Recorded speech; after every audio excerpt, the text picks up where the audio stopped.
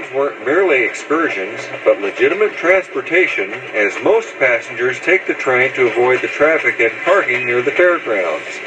587 puts on a good show as it does its part to keep the fair train running on schedule.